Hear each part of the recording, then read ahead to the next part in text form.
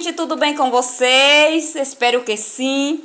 Eu sou a Luciana Silva e hoje eu vim trazer um vídeo para vocês mostrando aqui como enraiza a folha da peperômia melancia. Você que é inscrito no meu canal, muito obrigada, que Deus abençoe vocês. E você que não é inscrita, se inscreva, deixa seu like, seu comentário, que Deus abençoe. Olha só como que tá aqui as mudinhas já saíram das folhinhas, já saíram as folhinhas.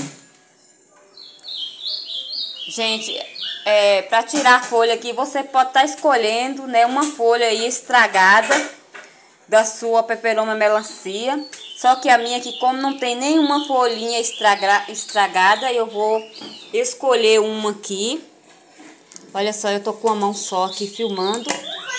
Olha só como que eu tirei essa folhinha, ó. Tirei a folhinha.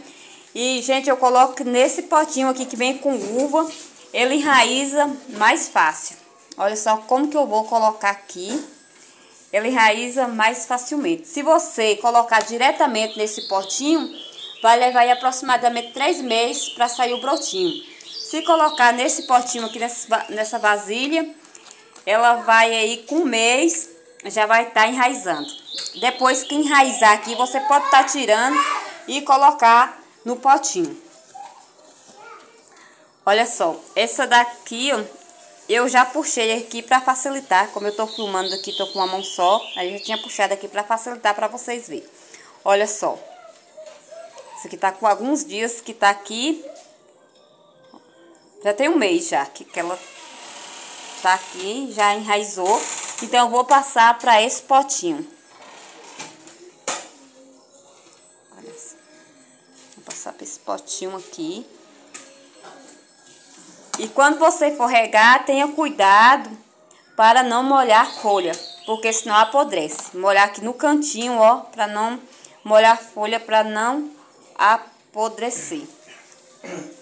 Pode estar tá cortando também menor aqui, que aqui ficou um pouquinho grande. Aí depois eu vou estar tá dando uma ajeitadinha aqui direitinho.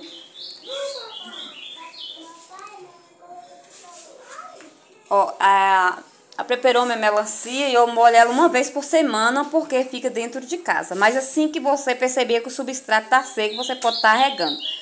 Mas lembrando para não molhar as folhas, porque acaba apodrecendo a folha. Ó o brilho Espero que vocês tenham gostado desse vídeo. Fica todos com Deus. Até o próximo.